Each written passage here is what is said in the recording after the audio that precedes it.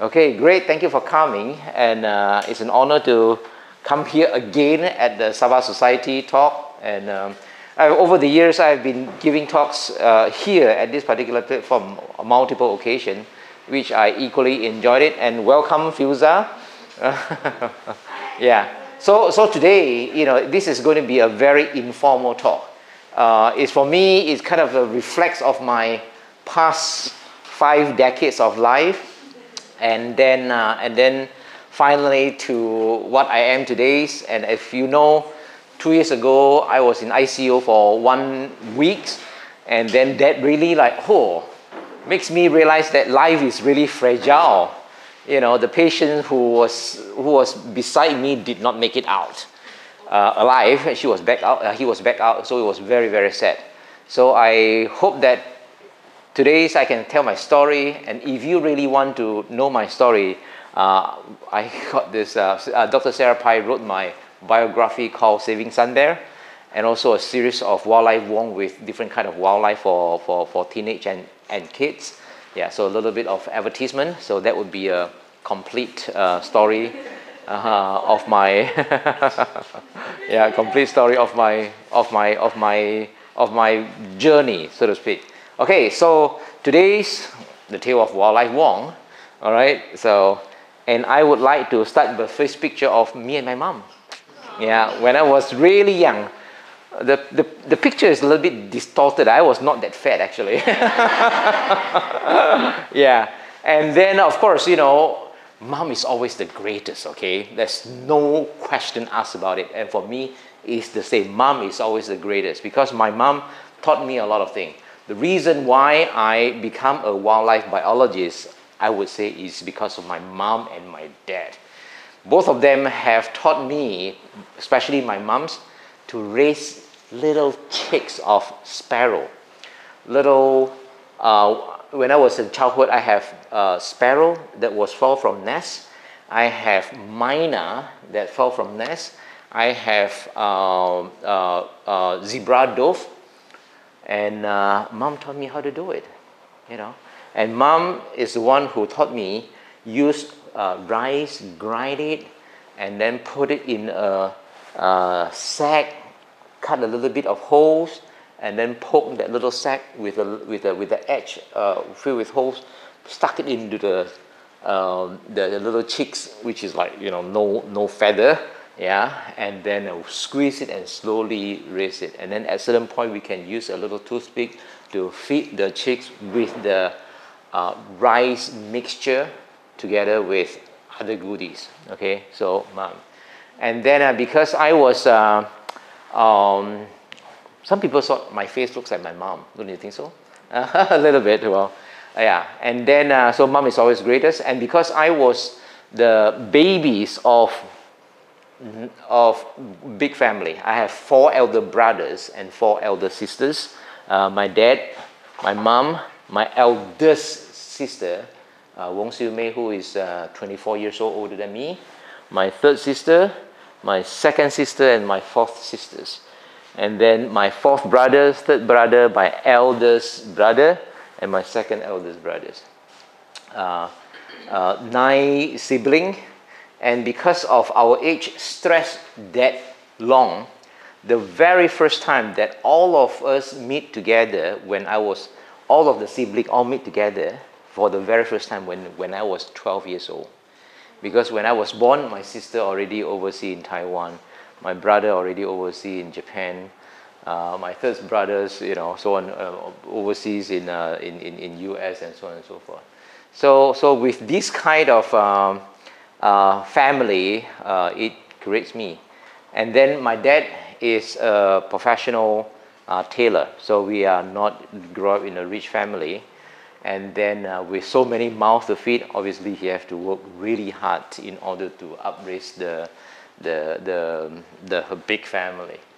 Uh, yeah, so, and then uh, how we works out is that, you know, we all, most of us have studied overseas and uh, through this big brothers support the younger brothers or younger sister that kind of system and then for me because i'm the youngest i don't have any responsibilities to support So literally, I, I can have the freedom of doing what I wanted to do. So thanks to my moms and my dad. So thank you, mom. Thank you, dad. Yeah, and then since childhood, I have raised many, many kind of, uh, of, uh, of pets. And then some of the pictures shown here is actually from my real pets.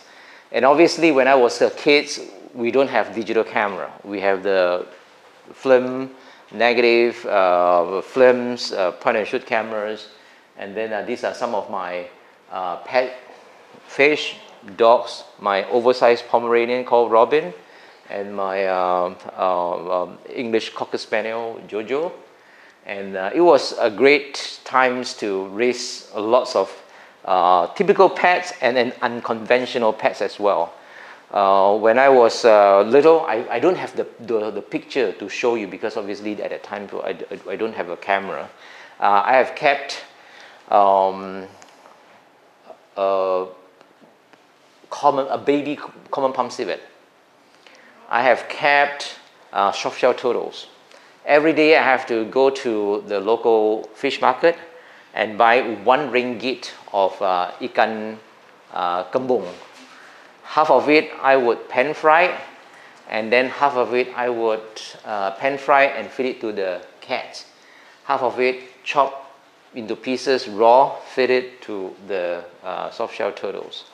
Uh, and then uh, I have scorpion. Oh my goodness, scorpion is cool. Why? Because the way how they feed, how they capture their prey, my goodness, the coolest thing I ever see in my whole life.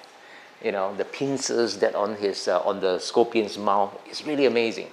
And obviously at the times, there's no Nat Geo, there's no Animal Planet, and then uh, I managed to to see wildlife or observe wildlife through my real eyes from my own pets. Uh, come, yeah, can come here and uh, sit here. Yeah. And then, uh, and then when I start to read, and I love to have uh, books about animals, raising fish, raising birds. And then when I was in high school, there's another amazing things that I keep, which is birds.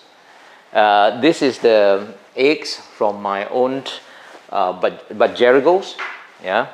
And then uh, they would hatch like that. It was really amazed me because I managed to witness from my own eye a tiny little white eggs hatch into this tiny little pinky hatchling, and then the little pinky will soon grow into beautiful budgerigars. And I also keep a bunch of Fischer lovebirds as well. And then when I was in high school, I become the breeder that supplies Fischer lovebirds and also uh, budgerigars to the local uh, pet shop. So I have my little, huh? How much is it? 30 ringgit. 30 ringgit. Yeah, 30 ringgit. So the 30 ringgit, the pet shop will sell it for 70 ringgit. You know, so 30 ringgit, hey, almost more than 30 years ago, 40 years ago is is expensive. Yeah, expensive. You know, so so so that was great. So I was a very, and then I I no one teach me how to you know this aviary I made it myself with my hands and wire. And then this little coconut shell, I cut it myself, scoop it myself, I sew it myself. Uh, it was a great uh, pastime, hobby. I'm a big time hobbyist. And then, and then through, through this kind of uh, animal keeping, witness the whole process of life. It's really amazing. And then when I breed um, rabbit, this is also my pet rabbit beautiful. You know how the male and the female mated. The male, the female. How many of you have had uh, uh, rabbits be- before? Yeah, some of you, are some of few of you. And then the female rabbit will start to pluck her hair and then make it a clump and then give birth. Oh, it was really fun to watch. And of course, the, the, the baby rabbits is like beautiful, beautiful, beautiful. Yeah.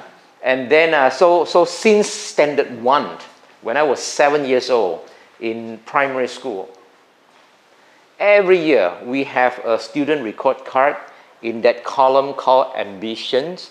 I always fill up with two things. One is veterinarian, the other one is animal expert. Every single year is like that. And my teacher laughed at me because the rest of our my fellow student would write engineer, doctor, lawyer, you know, all this uh, very glamorous and important uh, uh, kind of professions. And for me, is what is animal experts do? I don't know, but I just want to work with animals. So, so and then another is, of course, veterinarian. And uh, at, at times, I know, oh, veterinarians, animal doctor is the only professions that work closely with animals. And then, and therefore, after my ST, SPM, STPM, there's only one university where I want to attend, which is UPM Vet Plus. Okay, university, at that time it's University Pertanian Malaysia, and right now it's University Putra Malaysia. Uh, at that times, Malaysian populations, it was back in 1997, 19, 1999, 1998, 99. Uh, Malaysian population have 16 million uh, people. In theory, 1 million people to one university, Malaysia should have uh, 16 university. And at the times, uh, Malaysia only have like six uh, uh, government university, and one of only one of them offer the vet course. So the competition is really high. And then if you still remember, at the times we have a quota systems. So it's even more challenging for me to get into the university and study vet uh, because I'm, i was not a you know great straight A students in high school, right? yeah, and then uh, so when two times of um, of uh, of attending STPM, my results still not ideal to get into the vet school. At one point, I was about to give up. I have another hobby, which is called cooking. And then, uh, and then I was, you know, start to looking at culinary school, especially the one in Japan. And then, uh, and my third sister uh, told me that, do you want to be the chef or the cook, cook in the kitchen, or the person who dine in in a nice restaurant and enjoy, enjoy my meal? And I choose to be the one who want to dine in and not the one who cook in the kitchen. So I did not choose that culinary career. So I went to Taiwan. And then another sister of me, uh, my fourth sister of me, told me that if plan A doesn't work, there's always plan B. If plan B doesn't work, always plan C. So don't give up my dreams. So I continued to pursue my dreams, and because Malaysia UPM cannot get in, so I went to Taiwan. And at the times, my uh, my uh, my eldest uh, sister studied in Taiwan. My eldest brother studied in Taiwan. My third elder sister studied in Taiwan. My fourth uh, elder brother studied in Taiwan. So we have a you know a connection with Taiwan's. And at the time, my fourth brothers uh, in Taiwan. So that would be the most closest, easiest way to study abroad. And relatively, the tuition fee is relatively cheap compared to US, UK, Australian, and uh, the, the, the, Western university systems. So I went to Taiwan, uh, National Ping Tung University of Science and Technology, to do a diploma on veterinary and animal science. And then uh, at the times, it was great. I worked with so many animals, uh, yeah, and uh, work with animals but the course is designed to work with livestock. At the times, veterinary is all about livestock. Livestock means cattle, goat, uh, pigs, chickens, uh, and all of these animals would end up dead. Right? In livestock industry, all of them being slaughtered. Just now I had my oxtail, you know, come from animal husbandry, animal science yeah, and then all of them are, are, all of these animals are being produced very inhumanely. In the vet class, we castrated piglet, male piglet, without any anesthetic. That is actually is a violations of animals' cruelties or animals' rights or animal welfare. But this is what the industry has been doing. I dehorn cattle the bull was like jumping up and down and once I jump and then the blood would out from the from the horn and then another uh, students would be like burning the plate of uh, metals to seal the wound. It was really really gruesome. You know, I went to uh, abattoir, the slaughterhouse, to see how the pigs being slaughtered and whew, yeah, it was really intense. And then in our vet school, uh, I thought veterinary is supposed to help and save life of animals, right? No, it is not. It is not that way. It is all about when animal coming in, we shock them to death, we clip it on the lips and also the anus, and then and then yeah, and then cut it open and to see or do a necropsy and see what is uh, what is wrong with the livers, with the uh, internal organs, and then manage to come up with or isolate the bacteria or virus or whatever that cause the the, the, the, the animals uh, become sick, and then apply medicine to the rest of the herds the whole industry of animal production is all about money. It's not about welfare, it's not about animal rights, no, it's all about how to produce such and such of livestock or meat product with the minimum cost so that you can gain the maximum profit. It's all about profit. Yeah, so and then I realized that hey, I, I'm not I did not sign up for this. But I equally enjoy enjoy working with all these kind of farm animals, uh, including pigs, you know. And this is little piggy, uh, the piglet that we did an operations on her, and then I later on I raised her out, yeah, in our pig farm. And then uh, that little pig is also my Hong Niang. Hong Niang is the 媒人. How do you say 媒人 in English? Huh? View? 媒人 oh. No, Hong Liang. So means it means that this little pig, because of this picture, I start to pay attention on this beautiful girl who become my wife later on. yeah. So so one day, so this little pig, I every day I walk her in our farm, in our field. It's really cool, and pigs are so intelligent, right? And then uh, so it was really good. And one day uh, we are supposed to do bird watching and then uh, other uh, members of the bird watching society did not show up. My wife, at the time, of course, you know, we not even get together yet, showed up, and then we have a great times. I was 20 something years old. Um, yeah, and then after taking this picture, I feel like, wow, it's something, you know, that chemistry is like boiling, yeah. And then I start to chase after her, yeah and uh, yeah, so, so, so that was the little story. And then uh, when I was in Taiwan, uh, uh, there's another things that I did when I was breeding my birds during my high school time. I started bird watching. I started bird watching without knowing there was an activity called bird watching. Uh, because I started breeding birds, I realized, and then I started interested about the birds in my uh, households, in my neighborhood, neighborhood and then uh, and uh, at the times I was uh, working in a, a, silk printing factory owned by my uncle.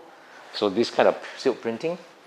And then I managed to spend one month of my salary and bought a binoculars. And that binoculars literally changed my life because through the binoculars, oh my God, birds in around my, around my house is so pretty. At that time, I observed a pair of Brahminy kite making nests and hatch. And it is just like what you see in Discovery Channel through, by, through my binoculars. And then uh, in my neighborhood, there's also many um, orioles, the yellow color bird, yeah, quail, and then uh, and, and, and raptors. Amazing, amazing. And then at the times, no one teach me how to uh, how to bird watching, and then uh, but I want to know what species of the birds they are. So I went to our Bukit Mertajam uh, Public Library pulled up that at that time the only uh, field guides available called Birds of Southeast Asia, Ben King. I'm not sure this the shelf over here have or not. And that was a classic uh, and the very first field guides for birds available and many of the plates is black and white. Yeah, so so managed to a you know learn the birds through that. And then when I was in Taiwan, one day I was wandering around the campus and then saw a society, a, a student society is recruiting member, and that and that um, uh, student society is called Bird Watching Society. I wonder what Bird Watching Society do. Bird watching, what is that? And I went in and oh, they start to talking about identify different bird species. I sit down, I learn a lot, and I like it. And then, and then I joined them as a member. And then every weekend we went out to do bird watching. It was wonderful. And because my university uh, in southern Taiwan, close to Kenting National Park, which is at the southern tip of Taiwan, where there's a lots of migratory birds in the winter time, and then there's lots of other you know residence birds as well.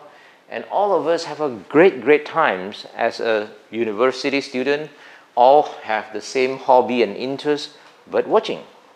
It was great. And then through bird watching, I managed to see the beauty of birds, the beauty of nature, as well as the other extreme, which is the ugly side of uh, mist netting of birds. At the times uh, in southern Taiwan, um, during the migration of brown shrike, a type of birds, brown shrike, uh, and uh, the local farmers would build a trap and that trap is so deadly and so perfect to capture those shrike. They stick it that trap made out of bamboo with a little uh, trigger when the bird step on it, it got caught and then they barbecued it. So the barbecued brown shrike is very common along the roadside link uh, to the Kenting National Park. So, so that was ugly. Yeah and then uh, mist netting of birds. Sometimes we went uh, we, we went to uh, uh, paddy fields to do bird watching and come across those mist net uh, where the farmer put out and then there was like dead carcass of you know owls, heron, uh, egret, and stuff like that. Uh, so it, was um, yeah it was quite an experience for me to you know see the beauty of nature as well as the destructions of humans uh, uh, to, to nature. So bird watching is definitely the thing. And then after I finished my study, because my bird watching skill was great, and then uh, I recruited, I joined the lab of Professor Kurtis Pei, who was the advisor for our bird watching society. And at the time, he was looking for research assistance on his various wildlife uh, research project that he involved. And this picture was the very first day that I start working in the forest. And then uh, this was in uh, uh, Taitung uh, mountain range. And uh, this is my senior, and his hand is a hundred pace viper. Uh, in Taiwan, there are five venomous snakes, and this is number one, the most venomous snakes uh, in Taiwan. And the Chinese name is Bai Bu She, means that 100 pace viper, means that after you got bitten, you only can walk for 100 steps. After that, you drop dead. it is that it is that deadly. And that day, I almost stepped on it you know, it is, uh, it got a great camouflage uh, with the dead, dead leaf on the ground. They are on the ground, so, you know, easily step on it. Uh, yeah, so that was my very first few days working in the forest. And then uh, later on, I was in charge of several uh, uh, research project of fauna survey, means that I need to go to that area and my typical day would be like wake up 5 in the morning when it is still dark and then cook my breakfast, entering the trailhead and start my bird survey when the sun start to come out, when it is still dawn. And then uh, so I survey for birds present. Uh, because of my bird watching skill is really good. A lot of the uh, people when we when the skill is good means that you don't have to see the birds. You just listen and start writing start writing start writing yeah. So that's what i do. And then uh, yeah. And then also uh, the fauna survey also involving using camera trap. This was me. And this was the camera trap that i used back in 1992 yeah the camera trap at the time consists of the box is an ammo cartridge box metal with two um, dry battery and a 36 exposure point and shoot Olympus weatherproof camera. And the sensor is a microwave sensor. The whole unit weigh about 10 kilograms. And then it only can take 36 picture at a time. And so every single pictures that we managed to take in is like precious.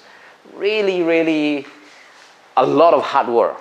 And the terrain to enter a lot of the Taiwan mountain is 60 degree or more. The slope is 60 degree or more. So a lots of hiking. You can, oh, my hand would carry 10 kilo, 10 kilo. It's like, you know, carrying 10 kilogram dumbbell and then plus another two more 10 kilogram dumbbell in the backpack. So we can only carry four. High up and then uh, set up those camera. And then of course we take great pictures of like uh, lots of wildlife. Yeah. Um, yeah. And then uh, so that was daytime. And then another thing that I do during the daytime is set up uh, uh, uh Sherman rodents trap for trapping small mammal. And then at night times, this is my outfit in, in night time. Headlamp, dress up because some of the area are very cold. And then I have my machetes with me. And then my camera. And uh, to look for snakes and uh, snakes and frogs. Yeah, so it was uh, pretty cool. And then, uh, so this was one of the uh, bird watching trips. And uh, also, at the times, uh, Professor Chris, uh, uh, Kurtis Pei also have another project working with muntjac. This is the Formosan reef muntjac, you know, kijang. In Borneo, we have two species of uh, two species of muntjac. The yellow Bornean yellow muntjac, which is a Bornean endemic, Muntiacus atherodes, and the red Indian red muntjac, the Muntiacus muntiacus. In Taiwan, they have an, an uh, they have an endemic as well called Muntiacus reevesi, the Formosan reef muntjac, which is a lot smaller. And that study involving radio telemetry of muntjac in Taiwan. And I was the um, research assistant.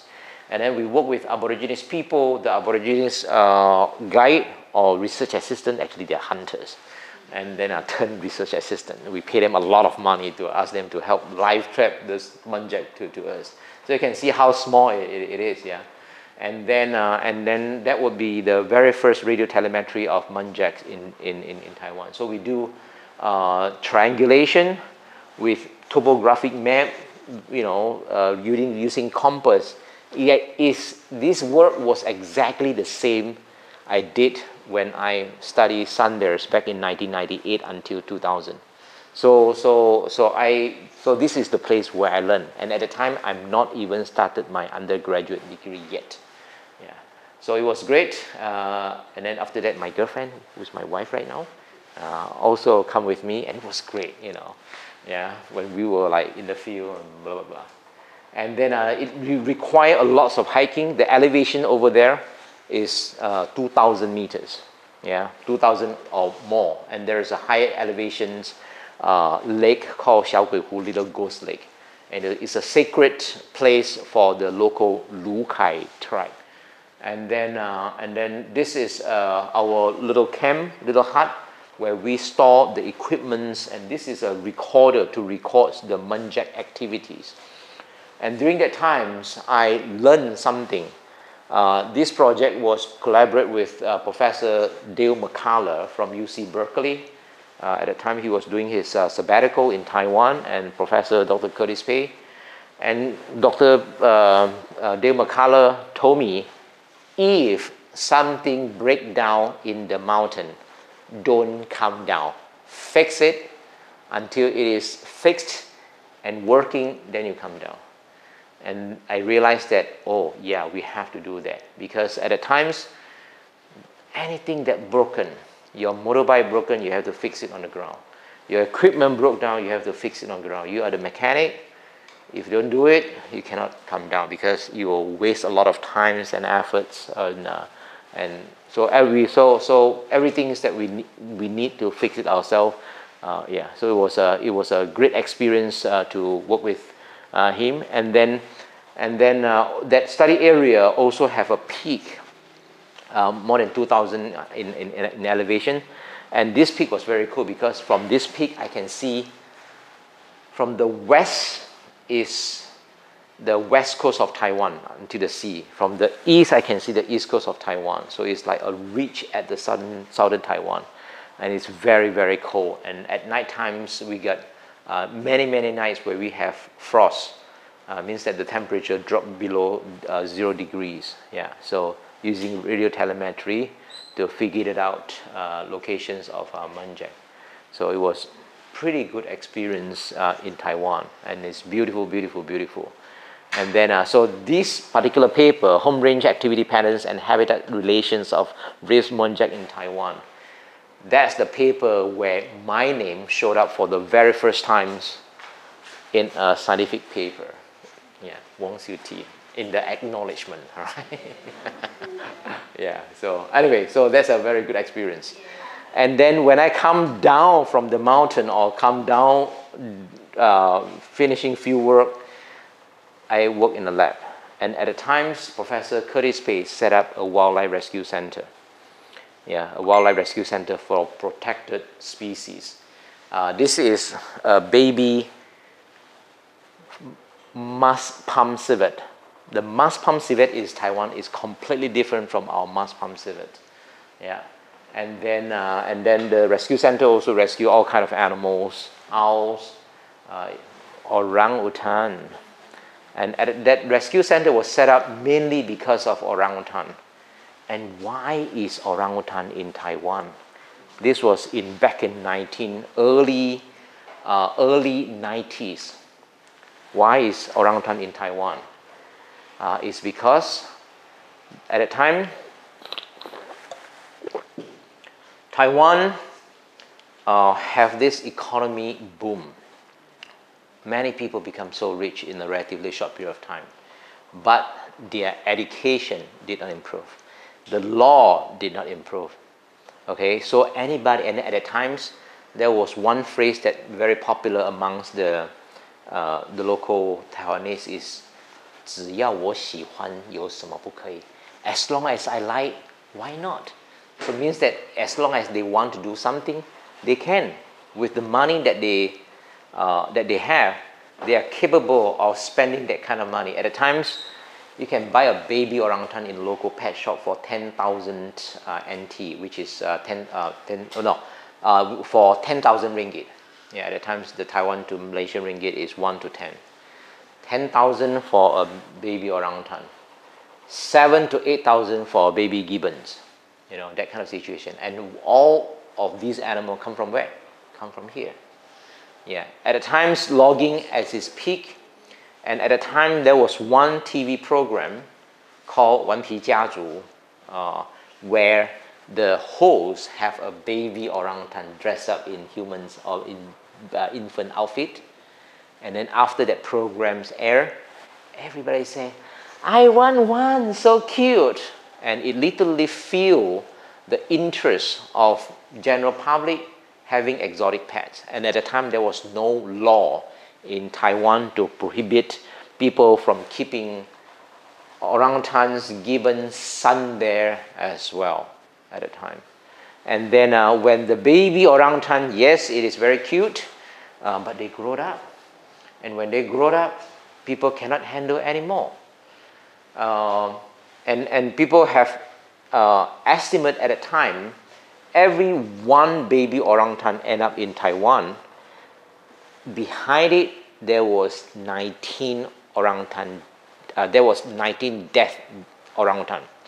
First, in order to capture a baby orangutan, the mother have to be killed by the people from Borneo or Sabah, literally. And then, uh, and then 10 one out of 10 baby orangutan that got shipped out not through aeroplane but by a fishing boat that from Borneo Sabah and then meet up with the fishing boats from Taiwan going southward and they trade in South China Sea. Yeah. And only one out of 10 can make it alive landed on the islands of Taiwan. Because of all of these baby infant orangutans needs a lot of maternal care, needs special care, okay? And of course, the best care of a baby orangutan is orangutan mother. But orangutan mother has been killed, brutally killed. And then, uh, so many of them did not make it. And even the one that make it, finally make it, okay, being sold as pets. This is Pao Li, this is Polly, our very first baby orangutan. And the first day, when she arrived, we put, it, uh, we put her on a cage with rope, okay? And it is very, I mean, common sense that orangutan will swing, isn't it? But the next day, when I go and see, uh, went to see uh, Polly, she showed me her face, and her, her, her, her, her palms was like broken skin, uh, broken uh, skin, bleeding. Why? Because she never hold a rope before. She was brought up in a household like that, toilet trained, die on a table together with her master, and then to a point where she grow bigger and bigger and start to poke on the switch, hook on, you know, anything that thing. Nobody can handle a baby orangutan or growing up orangutan or an adolescent orangutan at your home. They are so curious, one thing, and second, they are so capable of doing things, mimic things, and sometimes destroying stuff. And if imagine that orangutan start playing with your stove, start playing with your tap water, start playing with electricity, you know, it is, it is a, a, a yeah, it's a public uh, concern. And I, at the times, there was one time I was assigned to capture and abandon orangutans in a, uh, in a, in a, in a small town, in a mountain, uh, where the owner uh, drive that orangutan and abandon the baby orangutan in the hope that she will live in the forest in Taiwan. But of course, it is not because all of these baby orangutans are associate human with food, grow up in a human environment. Uh, they will look for, when they are hungry, they will look for people. So at the end, that particular orangutan was captured by the local police, and the police station have no cage, right? So they chucked that orangutan in a room. I was there to, you know, together with uh, our, our, our teacher, our professor from, from, the, uh, from the vet clinic, uh, from the vet hospital, to sedate that orangutan in a, in a, in a police station. Yeah. Luckily, for some reason, they did not put the orangutan in a lockup. They should. yeah, in a, in a police station. But anyway, that's one of the story, yeah. Uh, and then uh, this is Sarah, um, a volunteer from UK, come to help us uh, take care of the baby orangutans. And then beside orangutans, you, not sure you can, you can see this. This is two little uh, gibbons, yeah, agile gibbon, black-handed gibbons. And then this gibbons was among the Caesar that the police made busted a drug dealers. He has four baby orangutans and uh, two baby gibbon. And that gibbon, when the police got him, is, is, uh, is, is like this big. It's, it's like this big. Yeah, I, I have another greater picture, but I cannot uh, uh, show it. I cannot find, find, find that picture. It's tiny. I need to bring both of them back to my room and nurse them 24 hours because every one and a half hour they were mm, mm, mm, hungry. I need to wake up and feed. Yeah. So during that time, I already become the Papa Gibbon, you know, beside Papa Bear, right? Yeah. So so so of course, gibbons growing up. Uh, yeah, that's, that's, that's, there are two of them. One of them is called 大萝卜头. The other one is called 小萝卜头, means big uh, daikon radish and small daikon radish. Yeah, yeah. So that's taloboto. This is yeah, the big one. Yeah, and then uh, yeah. So where they come from? In Taiwan, you will be amazed the amount the the species of gibbon showed up on Taiwan Islands. It's literally coming from across Southeast Asia, from the very common, the lar gibbon, the white-handed gibbon. This is agile gibbon, the black-handed. They are uh, Hoolock gibbons. They are concolor gibbons. Come from Vietnams come from Hainan Islands, come from Cambodia, uh, and there's also Siamang as well, come from Peninsula and, and, and, and, and, Sumatra. So during that time, the network of wildlife trafficking is really, really uh, open, you know, really amazed, you know, because there's a lot of profits into it. And this was more than 30 years ago. Uh, and then uh, in the lab, I also got to learn how to stuff animal. This is the little um, Chinese weasel that I stuff. Uh, this is the little flying squirrels that I stuff over there. Uh, pangolin, uh, this was actually, I stuffed this pangolin is in Malaysia. Uh, I picked up this carcass when I was driving my, my motorcycle on the newly opened north-south highway. And then I managed to stuff this. So this is a skill that I learned to stuff animals when I was in Taiwan. And then, uh, and, and this was uh, the, this was the uh, white-fronted uh, langur in Danum. This is the one without hand, without one hand. And and this um, leaf monkey was, was stuffed in a freezer for like seven or eight years until I found out, whoa, still in good shape, and then I stuffed her. And these particular specimens have lost one uh, right arm because a raptor killed it and eat the arms, and then the, the raptor dropped the carcass when one of the Danum staff was driving on a logging road. So that one particular one, and also a Malay civet. This is the civet that I stuffed. I think I did a good job on stuffing animals, isn't it? yeah. Anyway, so yeah. So anyway, uh, and then I was working as a research assistant, uh, animal keeper in a rescue center in Taiwan for two years. And then after two years, I feel like, oh, you know, I had enough and I feel like my heart is about wildlife because during that two years of experience, I managed to do wildlife research, wildlife survey, and also set up, I mean, help take care of all this wildlife, and my heart is with wildlife. And then I want to come back. So, in, in, and, and start and continue my, my, my, my study. And then at the times, uh, I applied to American University, uh, Professor Dale McCullough give me a list of university undergraduate degrees, including University of Montana, University of Idaho, uh, Humboldt State University, Colorado State University, all this uh, university with good, uh, good uh, uh, wildlife program with the undergraduate. And Amy Agama is my fellow students. I study in University of Montana wildlife biology program. Okay, so I got to know Amy since then, back in 1994, 95. Yeah. Anyway, so after I, I am done with Taiwan, I come back.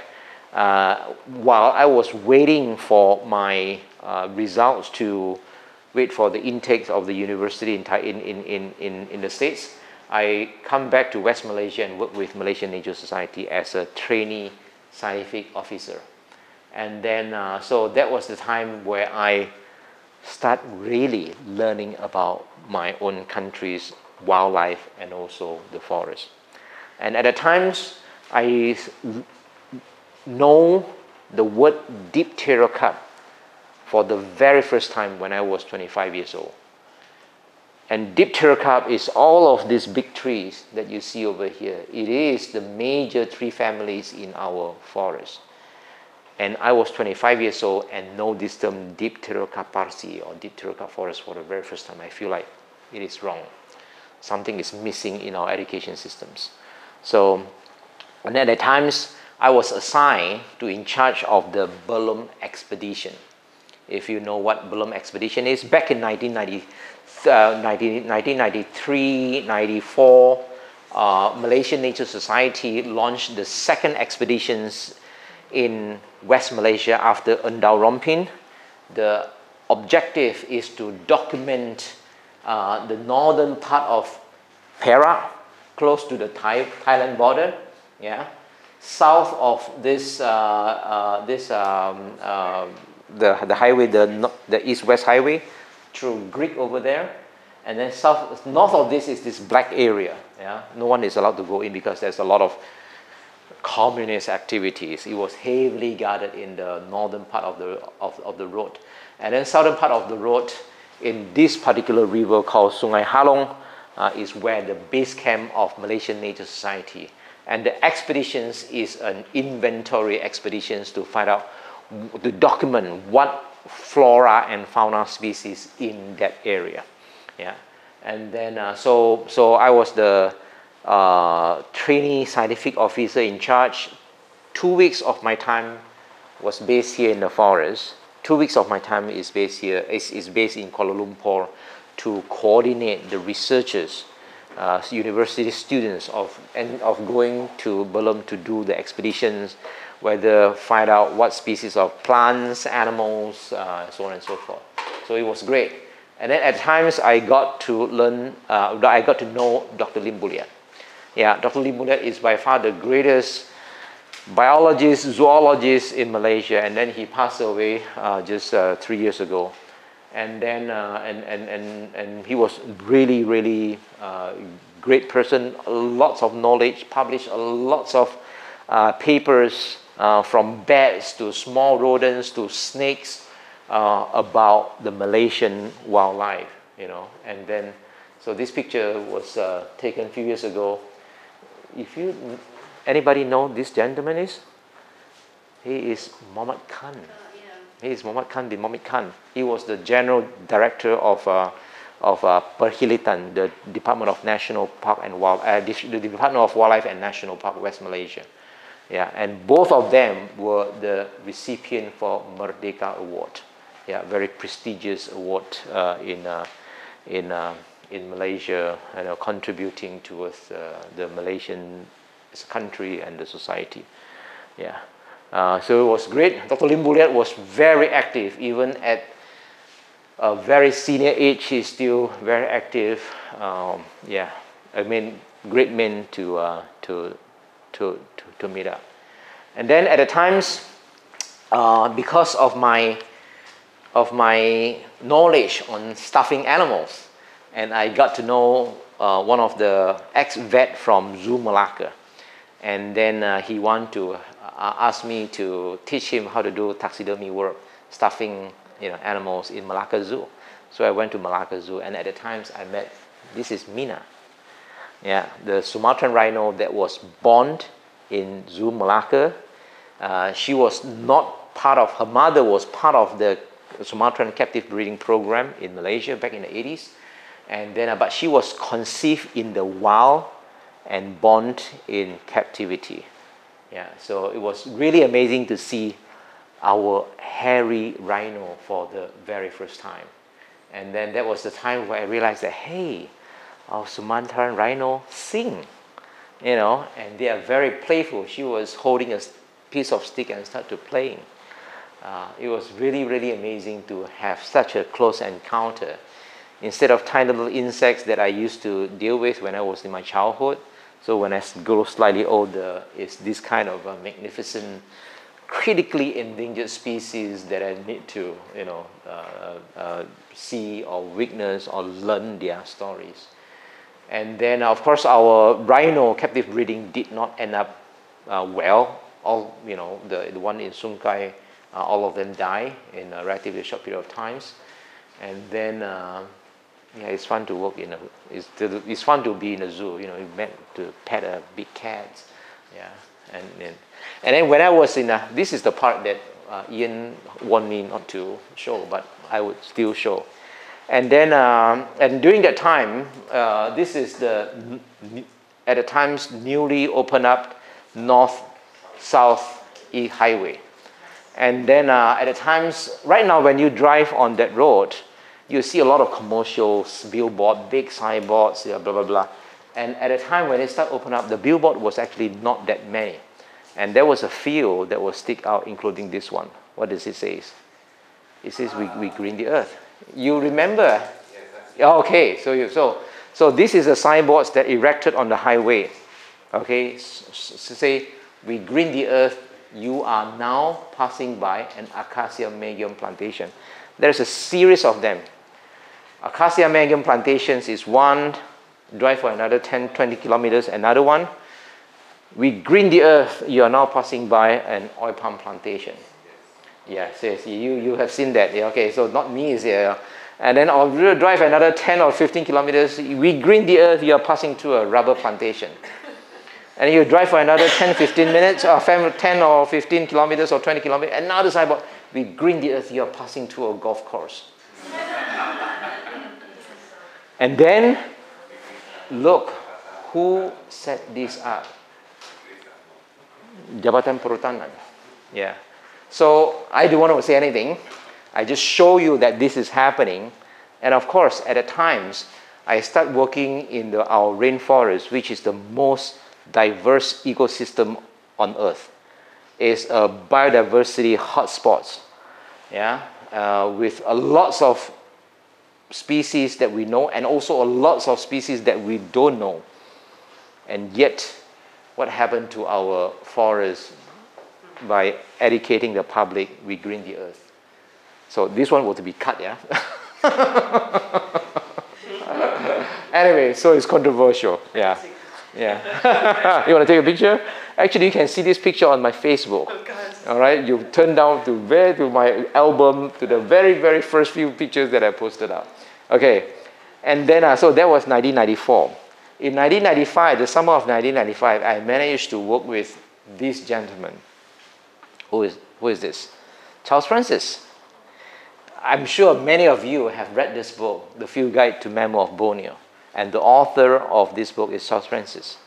And uh, it was back in 1995. I was uh, under second year undergraduate degree students. And then, uh, and, and one day I saw an advertisement on the, Ornithological uh, Society newsletter and rec- recruiting a few assistants. And I applied. And at the time I was in Montana and he managed to fly me back to Malaysia to help him. And then, uh, but this picture was taken just last year. Uh, no, last year or early this year?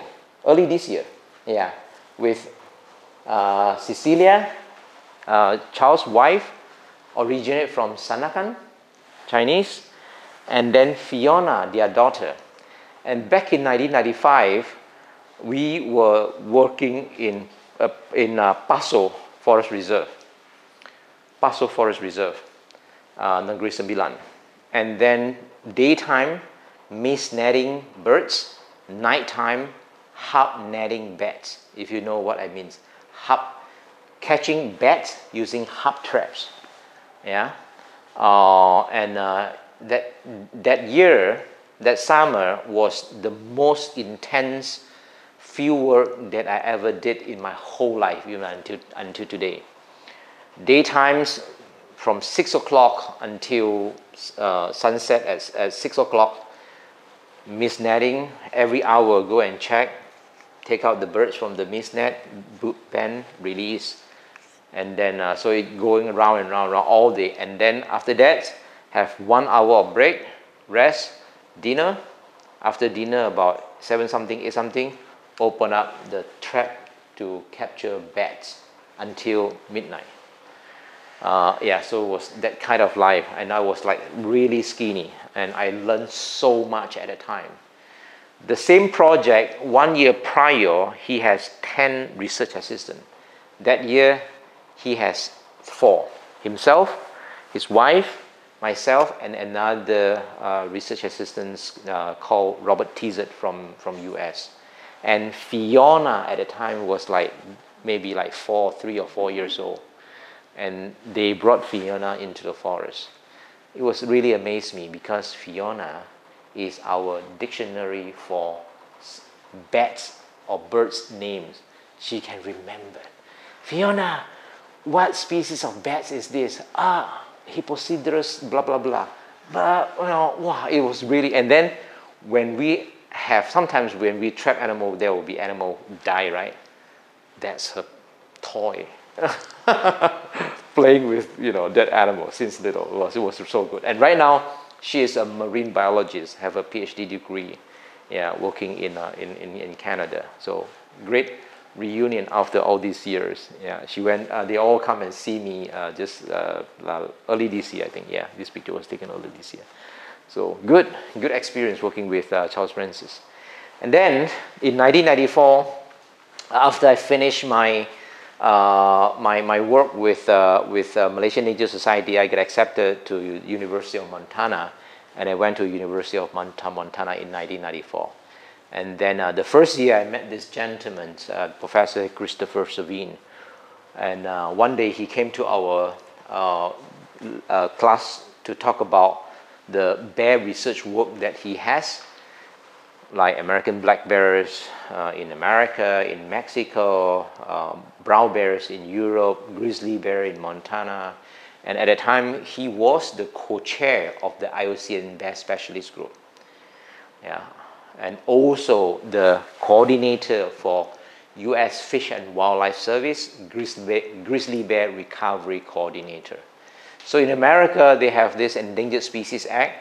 Under the Endangered Species Act, the species that lives under the Endangered Species Act, like grizzly bears at the times, they need to come up with a recovery plan, literally to increase the population, to boost up the population so that these particular wildlife species can be removed from Endangered Species Act.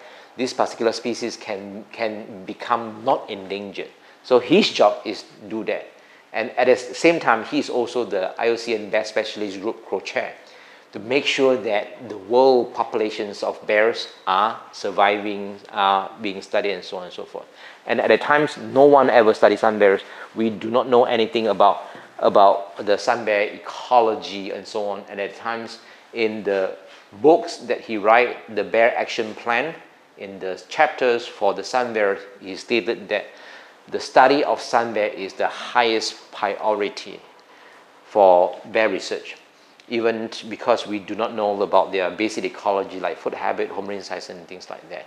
So after the, he was uh, giving the lecture to our class, I'm not sure whether you have had his come to no yeah to Les Markham's class. Uh, and then uh, and then I approached him. I said, "Hey, I'm, I'm a professor. I'm from Malaysia uh, we got sun bears in our country. Do you have projects working with the sun bear? He said, no. In fact, he was looking for a Malaysian study, uh, students to study sun bear. I said, choose me, choose me, you know. And, and, and sure enough, he chose me. We click, and sure enough, after that, we start talking uh, for the next few years. At the times I was on my uh, sophomore year, on my third year, I still got, you know, another, on my second year, I still got another two or three more years to go. So, so we managed to start talking, develop the research uh, proposal, get funding, and I have to pass my GRE examination, which is the examinations for to get into the graduate school, to get into the master program. It was a very difficult uh, examination. I managed to get through that and then become the graduate students for uh, to, to study sun bears at a time. And then, uh, and then before that happened, I need to prep myself to study bears. I did in Taiwan working with the muntjac, handle muntjac. Yes, I know that that that that processes, but I never worked with bear. So during that time, I was prepped to uh, study bears, and I was uh, uh, become a volunteer in his uh, grizzly bear and black bear projects. So this picture was my first grizzly bear capture. At times, grizzly bears in lower 48 states is very few, and, uh, and the purpose of this study is to monitor their population by trapping the grizzly bears, put a radio collar, uh, and, uh, and, yeah, and, and, and monitor their movements and study their ecology, their, their, their biology, and so on. And then uh, that day, I almost pee my pen yeah, grizzly bears is not like American black bear. This is a brown color American black bear. Although they look very similar, their behavior is completely different. American black bear evolved in woods in the forest. If there's any danger, they would ask the cubs to tree to go up to a tree, or they themselves go up to a tree if there's any danger. Grizzly bear evolved in plains forest places where less tree, if there's any danger, they stand up and defend. You know, they are very, very aggressive, very, very ferocious. Uh, yeah, and then when a grizzly bear, when a black bear got caught on a snare, you know, we use the Aldrich foothold snare, it's a cable snare to capture uh, our bears. When a black bear got caught, well, yes, they will struggle and try to try to get away, and after a while they give up. But the grizzly bear rarely give up, especially when they see human approach. Yeah. And then, uh, so what we do next is trying to sedate the bears using a jab stick for the black bear because we can get, uh, we can get, let me see here, that is a jab stick. At the end of that stick is, uh, at the end of the pole, there is the syringe with the tranquilizer and they have to like jab this bear. But the grizzly bear, you cannot do that because they would charge and charge and charge, very, very aggressive. And we have to use a chop shot gun with a dart, with a tranquilizer dart. And it was triggered by, uh, by black powder. It can shoot 50 meters. You know, there's no way that you can do this in a grizz, uh, for a grizzly bear. They would struggle and run to you and try to, you know, kill. Yeah, so it's quite, quite a scary thing. So, so all of this um, good experience for me. And then, uh, and then I, I spent a total of four summers uh, working as a field technicians. As started with volunteers, after that, uh, field technicians uh, to, to, to trap uh, uh, black bears and, and grizzly bears. So I handle more than more than a hundred bears in North America. All these big, big bear compared to the small. Yeah, this is Montana. Yeah. And then we, we also managed to cross the border to the other side of the border to Canada at Crestons to do the grizzly bear trapping because the borderline uh, grizzly bear they travel across the border and they don't you know see the border as border. Yeah, so it was pretty cool. And then uh, there was also one year where I assist uh, Karen McCoy on her master project, radio collaring uh, black bears to identify where black bear crosses highway because there is a highway developments and then that project is to identify the locations where there is a lot of bears or animal crossing so that they can put a bypass or underpass or lower pass so that it's a wildlife crossing structures to, to minimize roadkill in that stretch of highway. Yeah, so it was pretty good experience to, to, to do this. Yeah. And then, of course, back in 1998, I come to Borneo for the very first time to study my belated, my beloved uh, sun bear. Yeah, my beloved. And then at the time, how am I doing on time? Are you still still asleep? No, yeah. Interesting so far. Yeah.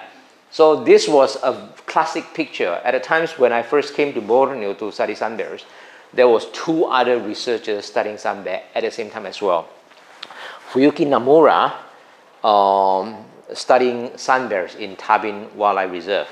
Gabriella Fredriksson studies sun bears in Kalimantan in Sungai Wain Forest, uh, protected forest. And I'm mean, this picture was taken more than, what, 25 years ago. Am I still look the same? Almost. Almost, okay, okay, yeah.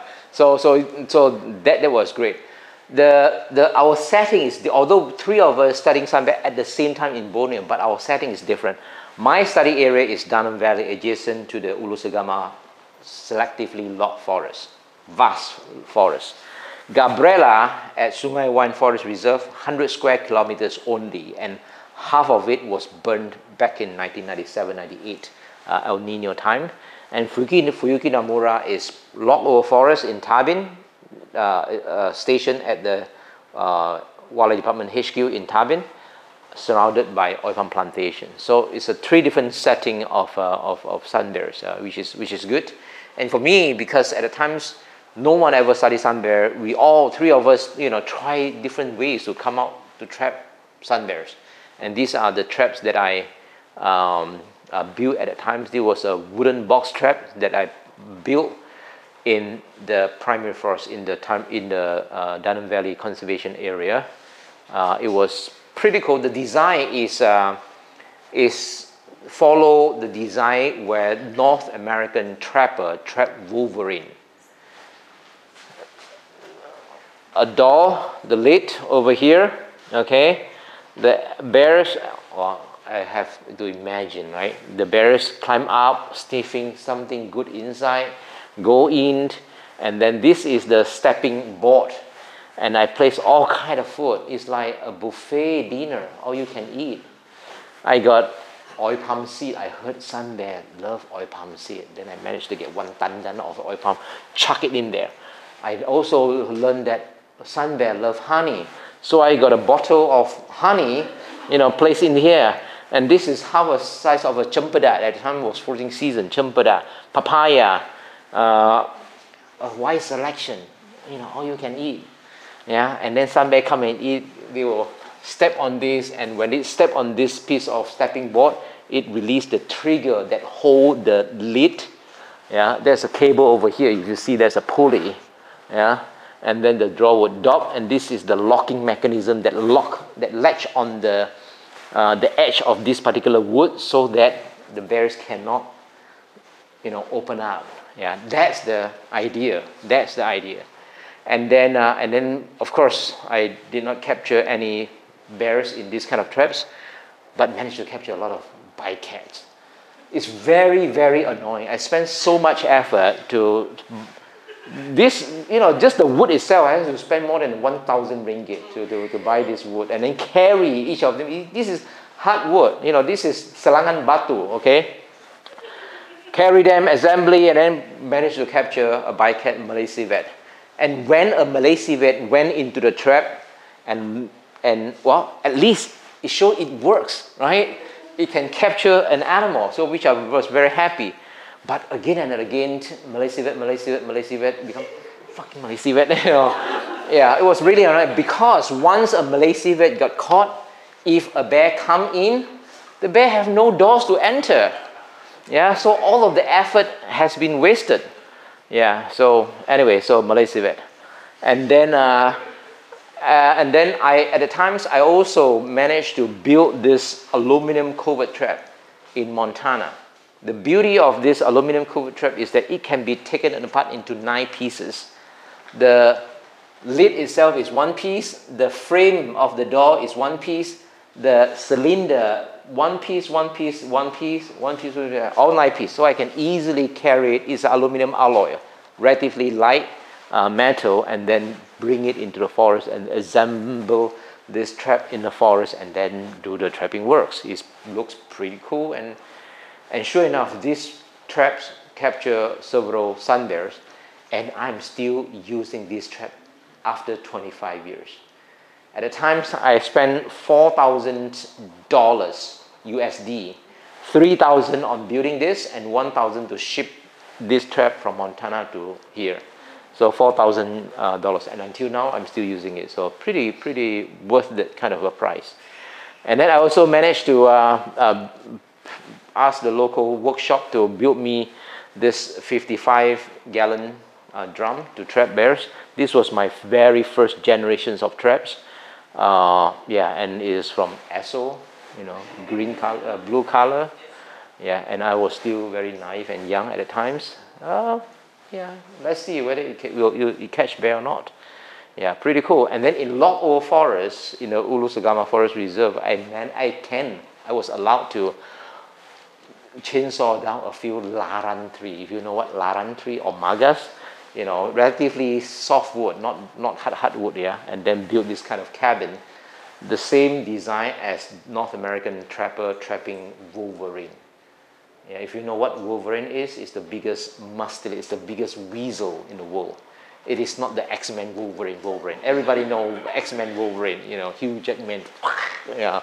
But this is not, this is the the, the, the, the, the, the big uh, weasel uh, uh, family called Wolverine.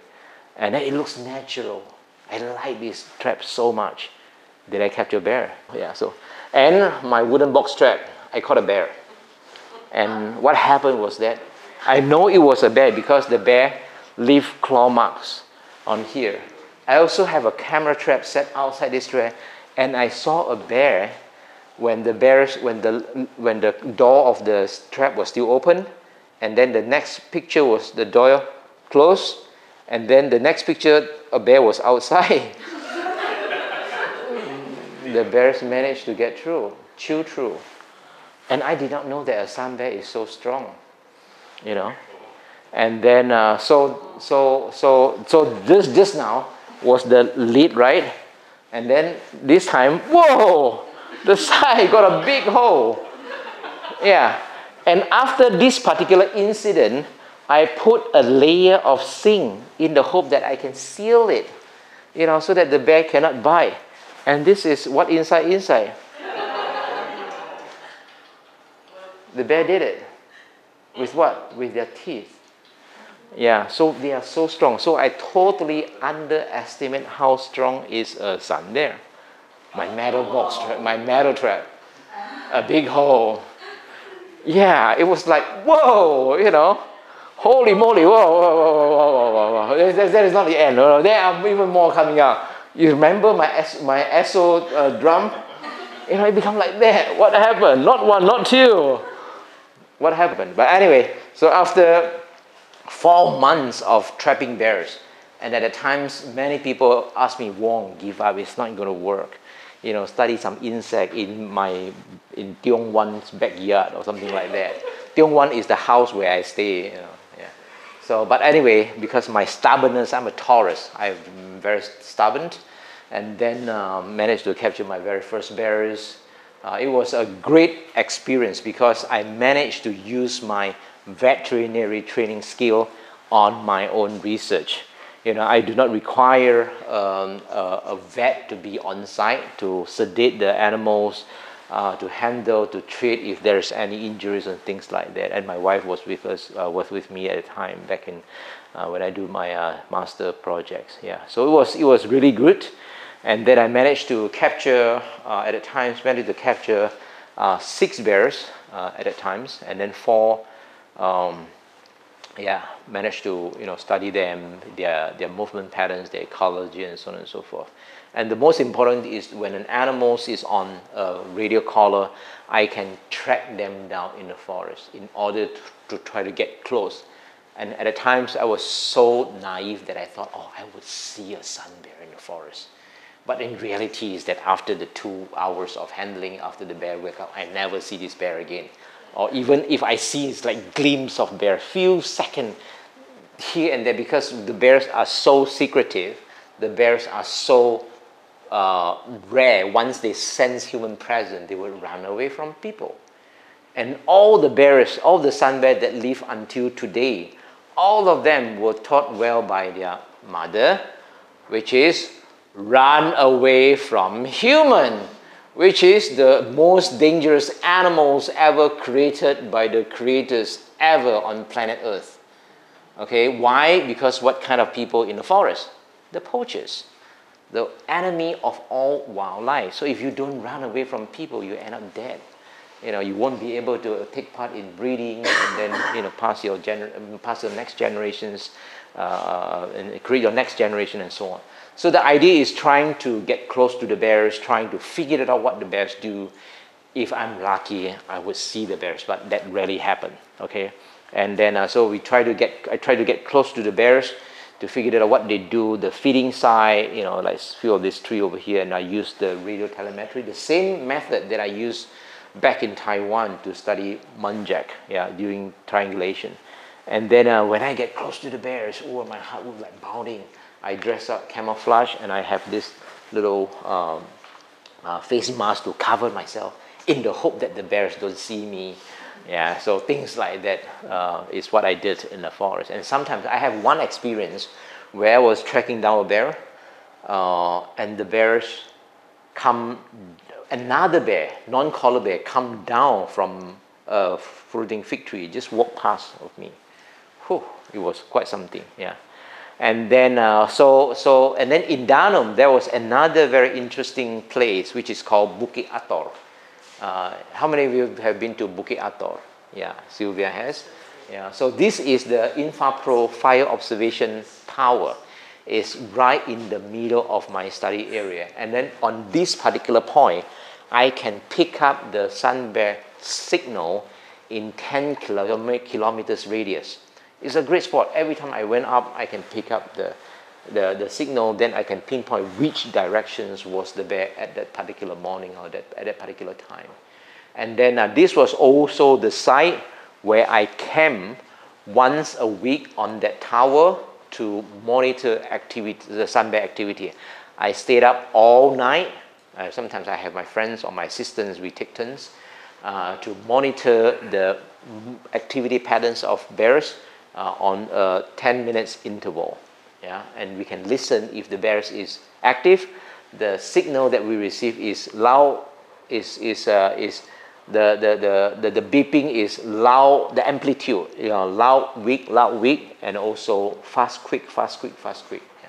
Something like that we, that we can know. So it was pretty cool uh, that we managed to like, you know, this is Mark, uh, Mark Philip Hart, an American uh, friends who was studying uh, owl in Taiwan. And we managed to become, you know, good friends. And one day, uh, one year he was visiting me. And then, uh, so it was pretty cool. I had my little stove and then we like uh, hot pot, you know, steamboat, you know, for dinner and cook all night yeah, and eat all that at the same time, monitor it. And then um, this is an old classic picture. If you know who this, this is my wife, of course. And this, who is this? Anybody know? That's Ian Khoo, the president of Sabah Society uh, Sandakan branch right now. Yeah, Ian Khoo. And at the time, she was doing, she was uh, what, second or third year in university. And she was doing her internship at Danum. Managed to tag along with me, uh, tracking bears for a few days in the forest, as well as uh, monitoring bears at night times. Uh, yeah, so this is a classic picture. yeah. And then uh, on that observation platform, you know, is I managed to witness the beauty of our rainforest. Really beautiful. Early in the morning, the misty, this is low elevation, 300 meters. And yet every day, afternoon, after the afternoon rain in the tropical rainforest, the humidity build up, the mist build up. And then uh, when the temperature drops, the, the, the little drops that really accumulate, become very, very thick. And uh, it's become a very 仙境 uh, Xianjing is what? Mystical, you know, world. Beautiful, beautiful. You have to see this. You have to witness it with your own eye in order to appreciate how pretty it is. So, Danum Valley. Next, oh, I need to, I need to go really fast. Yeah, already. Yeah. Um, and then, uh, and then in the process, in the in uh, late the year 2000, I visited Gabriella Fredriksson's, uh, her study area to see her study, how was she going on, how was her study. And then when she was doing her wild uh, sun bear study, she also managed to rescue and rehabilitate a few ex-pet sun bear. And when the times when I visit her, she have the fourth uh, sun bears that she rehabilitated and raised. And this bears is called, she have no name. She called, uh, everybody call her Si Kecil, the little one. And then that was my very first sun bear cups experience. Managed to, you know, have my finger, let her suck, suck, hold her. And it was great. It was great. And I managed to capture this picture and if you notice this picture, this picture become the logo of BSBCC. Two months after I took this picture, she was killed by another bear. Yeah, and at the time, Gabriella was absolutely heartbroken. I told her that, you know, we are going to honor little one and we are going to make this picture a well-known picture. At that time, there was very, very few pictures, or literally none, no pictures of sun bears taken from the wild setting. All of the pictures of sun bear that I managed to other is from uh, zoos all obese or very skinny and is ugly looking bears in a very unnatural uh, uh, uh, environment or background. And this one happened to be in the wild. You know, I take it with my Nikon FM, 100 uh, millimeters telephoto lens, perfect setting. She looked at me like that and I realized that this is how sun bears sleep in the forest. Sun bear have this inward bent leg, if you notice. And the reason for that is they lock themselves on the branch on the tree and sleep and don't fall. Yeah, so pretty cool. Yeah, so uh, yeah, and then this is another rhino, and this is Tanjong. Yeah, this is uh, I took this picture in 19 uh, yeah 1998 or 1999 or something like that in in uh, in Sepilok actually. Yeah, Tanjong and Tanjong was killed from a fallen branch in 2006. Yeah, so it was very, very uh, tragic to have that kind of thing happen. This is Golugop, Uh, and the last rhino from the 1980s Sumatran captive breeding programs, uh, and he, she died in Lok Kawi Zoo. Yeah. She was uh, originally from Sepilok and then moved to Tabe, moved to uh, Lok Kawi and, and, and died there. Anyway, so uh, the, the, the extinctions of Sumatran rhino in Sabah or in Malaysia is actually a very sad uh, story for wildlife conservation because such a magnificent uh, wildlife has come to an end because of human activity and this is something that we all need to you know uh, need to uh, think about. And then in the process of working in the forest of course forest jump uh, the forest uh, jumbo the elephants is something that we cannot miss out you know. Yeah so it's a great story to tell. Whoops. Oh okay okay yeah. And then uh, and then back in 1998 uh, I also managed to set up camera traps. At the times the camera trap has slightly improved. Instead of the 10 kilograms uh, batteries that power the sensor. And right now we are using this 9 volt of uh, uh, 9 volt uh, batteries to to to to power the sensor. And then also with a point and shoot camera the 36 exposure. And this was me in Danum. And then uh, yeah and managed to capture many interesting wildlife. This picture was the very first picture of what is this animal? Malay weasel. Ever capture ever capture. Very first. Yeah and this picture made the cover of small carnivore conservations back in 2006 yeah and uh, it was like wow we got this you know white color and bushy thing. and right now of course with camera traps actually many people have, have got great pictures of, of uh, Malay weasel yeah so anyway so another thing to show off uh, so more camera trap pictures this is a collared mongoose this is a banded linsang this is a yellow-throated marten yellow-throated marten actually there are two yellow-throated martens uh, over here one over here and the other one over here. So they are a diurnal predators, always hunt in pair, and they can take down a prey as big as a muntjac. Yeah. Uh, collared mong, uh, the short, short tail mongoose, and then of course Malay civet, lots of lots of Malay civet. If you notice the same side, this side is very productive, and I managed to capture this as well. This picture was very interesting because this clouded leopard was one of the very first cloud leopard ever, not only the, one of the very first cloud leopard uh, camera, camera trap, but the same side, same angle, same location, I managed to capture a sun bear. And I managed to trap this particular sun bear and he weighed 40 kilogram, it's a male. And you check out the size, oops, you check out the size of this clouded leopard It's big.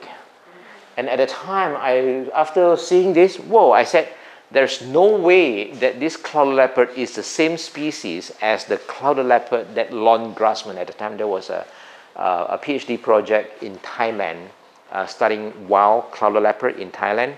And Lon Grassman is the American student who study clouded leopard and he live trapped clouded leopard and his male adult clouded leopard weigh 15 kilograms. And this particular, this bear weigh 40 kilograms. How much, how heavy do you think this particular individual weigh? So it must be at least 30 or 28 or 29 or something like that. And that is the same similar size of the uh, considered as the uh, uh, uh, big cats like spotted leopard. And at the times, clouded leopard in Borneo is a subspecies of the Neofelis nebulosa. And uh, because of this, Andrew Kitchener uh, uh, used this, this, this particular picture uh, to, to, to, to distinguish, to say that the Bornean clouded leopard is a, a, not, is a distinct species. It shouldn't be considered as a subspecies, but should be elevated to a full species status. And then they also published another genetics uh, paper about the cloud leopard in Borneo. Sure enough, it's very different and should be considered as is as the species by its own.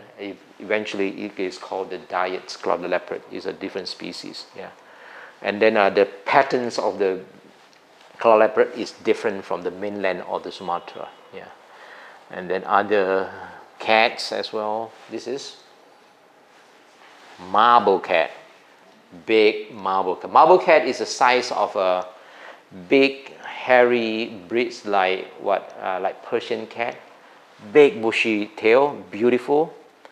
And what about this one? Bay cat. Yeah, bay cat, very very rare bay cat, marble cat. Yeah. Oops, sorry, sorry, sorry. Yeah. Anyway, sun bear, sun bear, collar sun bear, non-collar sun bears. Yeah. Obviously, I know you know I still got several bears that I haven't captured yet. Elephant, uh, yeah, I got so many. I, my car was damaged by elephant. My trap was better. Of course, my camera trap also managed uh, damaged by elephant as well. This is one of the good ones that I managed to capture. Yeah, and again, yeah, this is in Tallinn. At the time, there was elephant riding in Tallinn. Yeah, Sylvia knows. yeah, anyway, uh, wildlife Wong, right? You know, working with wildlife species and blah, blah. And then back in 2004, I did a survey of captive sun bear across Malaysia, and that was another eye-opening uh, episode that I come across. You know, all of these are in very, very sad stage. And this particular picture was in Kudat uh, Victoria Zoo. And if you note, if you read the signboard, it says panda. Yeah, it said panda pointing to two bears over there. And then we managed to, right now, these two bears are at BSBCC. Panda and Kudan is their name for obvious reason. Yeah. And then, uh, and, and because of this survey, I come across so many uh, captive bear in bad, bad, bad conditions, and that's the reason why I set up the Sun Bear Conservation Center because I know that the situation is really bad.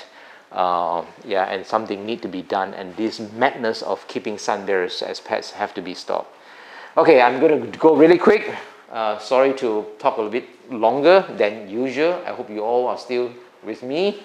And then, uh, and then in 2005, I come back to Sabah for the third times to initiate my Borneo Sun Bear and Pig Research and Conservation Project. This is my uh, PhD project working with both bears and pigs at the same time. And again, initiate another round of trapping.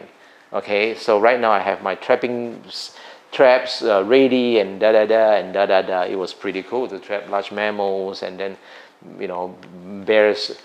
The, the, when I did my master project, I first I, cop, I captured my first bear after four months of trapping. Yeah, people ask me to give up. But when I come back to trap bear for the second time, the very first week of my trapping in my for my PhD work, I captured three bears in the first week, including one days I have two bears in my traps. I said, yes, I'm the man. but after a year, I have no trap. I have no bears after one year. Yeah, bear trapping is that challenging. Is that challenging? Yeah, yeah. And then also managed to trap, uh, managed to capture and put video collar. And this was literally the very first bearded pig got live trap and set and wear a radio collar. Yeah, so it was a. So you put like a belt around. Yeah, like a harness because pigs. I remember we talked about how to how to. Yeah, so pigs pigs have no necks, right? So it has to have a harness. Yeah. Anyway, so that was trial error, that kind of situation. It was the handling of pigs is another one hour of talk if you have time. yeah, anyway, so I'm not going to go through that. And uh, it's, again, the experience is really cool. Oh, where's the slide? Yeah, and then uh, other than that, I also capture other non-target like a clouded leopard. And at the time, Andy Hearn and Joanna Ross were studying uh, cloud leopard in Danum, and they were trying really hard to trap cloud leopard. And the very first cloud leopard happened to be in my pig traps, baited with chicken wings. You know, the, the, the, the, the, the, the chicken wings tip that the kitchen of Danum discard. I said, give it to me, please. And sure enough, I got uh, the leopard. Yeah, and then beside that also, you know, all a lot of the non-target uh, uh, species. Uh, yeah, porcupine. Yeah, it was uh, pretty cool. Anyway, so in 2007, um, actually 2000, yeah, yeah, before 2007, uh, already start working with uh, Sepilok and then helping the bear cubs over there. And then in 2008, I founded the Bear Conservation Center, thanks to Sylvia Yorat, yeah, as the very first person who helped me from day one. So thank you, Sylvia. And we managed, we, we did it after, you know, and right now it's 15 years from 2008. So a lot of hard work of building up the uh, uh, the, the conservation uh, center. So, so that was me, yeah. And then of course, you know, the center aims to conserve sun bear through holistic approach that incorporates improved animal welfare, education, research, and rehabilitation. And it is a partnership between among Wildlife Department, Forestry Department, and lead NGO where Sylvia Urat uh, work until today. And then uh, so, uh, and then over the years we developed our pillars, including you know ecotourism, uh, community conservations, uh, anti-poaching, captive breeding, and so on and so forth. And then uh, so when I look back of my 30, 40, 50 years of history, and I, and I kind of summarize of the of the of the traits that I have, of the what strength, weakness that I have, and I, you know, kind of come up with some some some elements that bring me what I become today. One, of course, is interest. You know, follow my heart. Uh, this is Gina, the barred eagle owl chicks that I raised since little in my office in Sepilok pretty cool. Uh, yeah, so interest is very important. And then, you know, loves, come on, you know, how can you say no to this baby orangutan, right? Taking care of sun bear, people call me Papa Bear, you know, I got so attached. But when you take care of infant primates, you're literally treating them like your own cute or own, own children. Is you have you you're so attached, you know, to it for no reason and no expect for any reward. You just want to give your love help them as much as possible, you know, just like what I did with my sun bear cubs. Knowledge, of course, you know, as a, biologist, as a, a, tropical forest ecologist, the, the amount of knowledge from our, um, that we can learn from our wildlife, from our forest is vast. So many things that we need to learn in order to learn the, understand the entire pictures. It's very important. So if people ask me, especially the younger generation students, hey, study hard. You know, don't party too hard in, in, in, in, college, in school. Yeah, you need to learn. And then personal attitude, try to be humble. I try to be humble, seriously. Avoid arrogance, you know, egoistic. It's okay to say sorry. If you did wrong, just say sorry. Face the consequences and make sure you don't repeat it again and move on. This is what is the, you know, the process. And then endurance, be tough. Working in the forest is something that I learned you have to be tough in many, many occasions. Yeah, this picture was the flood in the year 2000, the La Nina. Yeah, the La Nina flood. And then uh, came in the forest. Um, yeah, so it's, it's, it's not easy. Yeah, again, another uh, trap with a, bro, with, with, a, with a big hose on it, you know. And then teamwork is extremely uh, important as well. The works that we do it's never about me. I did not do everything. It's my team uh, did everything on the ground. You know, so I always be thankful for all of the teamwork that we did. Uh, this picture was taken in the 2013 uh, fundraising event, event called Big Dreams Little Bear. Our big dreams for dead little sun bears. Yeah, so it was great. And with that evening, we managed to raise some 400,000 ringgit in Sandakan. And of course, we did another first fundraising events in uh, in uh, in uh, in um, uh, 2008. Uh, you know, work hard. Nothing is easy. Who said it is easy? You know, the work that we do is not easy, but is it possible? And another thing is turn the anger into positive power to change. You know, when we come across snares, this was the snaring incidents in Danum, where sun bear got snared, and I went in, and that day I saw like you know I don't know how many dozens of snares. Yeah and then uh, in the process of like this kind of things, you know, the, our beloved animal, they got pushed, they got eaten, they got, oh, you name it, you know. Uh, this was a three-legged sunbears that I helped Cheryl Chia, uh, uh, the, the Cheryl Chia trap in, in, in Krull Wildlife Reserve, three-legged, why three-legged? Because it got snares.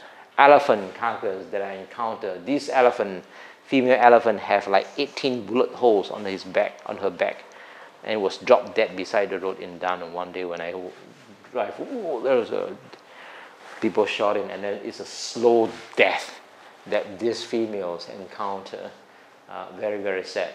And obviously, uh, and then passions, do what you do best is something that is very important, ladies and gentlemen, and perseverance. Passion and perseverance is something that Angela Duckworth says about grit. The, one of the traits for successful person is to have this grit. Grit is the power of passion and perseverance passions and never give up, perseverance. Yeah, very, very important. And then, of course, everybody know Jane Goodall. And back in the early 90s, I read her book called Through the Window. The very first page, she said, only if we understand will we care. Only if we care will we help. Only if we help shall all be safe. Okay, and, and for her at a time when she was working in Gombe studying the chimpanzee, she is at that understand stage. So am I when I come to Sabah, Borneo, Danum to study wild sun bears. Understand. Only if we understand can we care. Care comes from the heart, right? And only if we care will we help. Help is action. Only if we have actions, then they will be, they shall be safe. So for uh, Jane Goodall is the chimpanzee in Gombe. For me, it's sun bears in Sabah. Yeah. And then another, yeah, so I managed to meet her in person a few years ago. It was great. She's just filled with positive energy, even at her senior age. You know, she never give up, she never rests. Yeah, so it was great. Another great person that I met is Sylvia. You know who is this? George Schaller. She is the greatest field biologist ever, George Schaller. So this is the books that the George Schallers have published and studied. He, he has studied in Serengeti Plains about lion, tigers in India, Mongolia snow leopard, giant panda in, in Wolong, Tibetan, you know, this and that, and gorilla as well. So, so, so he once said, you can do the best science in the world, but unless emotion is involved, it is not really very relevant. Conservation is based on emotion. It comes from the hearts, and one should never forget that. So a lot of the works that we do is come from the heart. Come, you have to be emotion. And sometimes people criticize me, say, "Whoa, you are too emotion." I say, if I don't have emotion, I wouldn't do what I do. You know, a lot of the thing is that, you know, come on, animal is dying. Yeah, if we don't speak for them, then who? You know, so things like that. And then another things that I learned over the years is this something that I call positive feedback loop. I got a big mouth, all right? I never keep quiet. When I do something good work, I want the world to know so that I so that I can receive some support, some help. With some support, with more help, I do more good work and I let the world know. You know, if you look at my Instagram, if you look at my social media, and then uh, and, and that will attract more resources. If with more resources, I can do more good work. You know, this is called the positive feedback loop, and we are on that on that stage.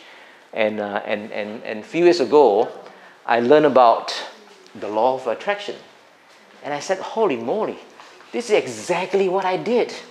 Over the last 40 years, since seven years old, I said I want to be an animal expert you know, the seed of the law of attraction is already planted there. So if you do not know what is law of attractions, Google it tonight. Read this book called uh, The Secret, you know, yeah, the law of attraction, yeah. So it was really, really good, good things. And then a few years ago, I also learned another thing called Ikigai. When I look at it, whoa, Ikigai consists of four circles. The first circle is do what you love. The second is do what you're good at. The third is called do uh, what you can be paid for. And the third, uh, the fourth is do what the world need. When you do what you love and you do what you're good at, it is called passion. If you do what you good, what you are good at, and what you can be paid for is called profession. If you do what you can be paid for and do what the world needs, it's called vocation. And missions is do what you love and do what the world's need. Is it enough? Try the intersection of these four circles. And when I, when I see this, I told myself, wow, I have reached my ikigai. Yeah, this is the teaching of the Japanese about life, about the mission of life. If somebody can reach that ikigai, you are in good hand. And that's it. You know, you don't need to search anymore. You just do what you are doing and continue to do it, and the world will be a better world. Yeah. And uh, a few years ago, we managed to, I managed to uh, know Jim, uh, Dame Judi Dench, and in the books called Saving Sunday, you know, he said Wong is an incredibly committed and charismatic man, and I highly recommend this inspirational story about his life and an important work. A hundred ringgit, ladies and gentlemen. a little advertisement at the end, and finally, I want to thank my family for supporting me all these years, and then uh, apologize for not being there uh, all these years. And uh, thank you very much for your attention.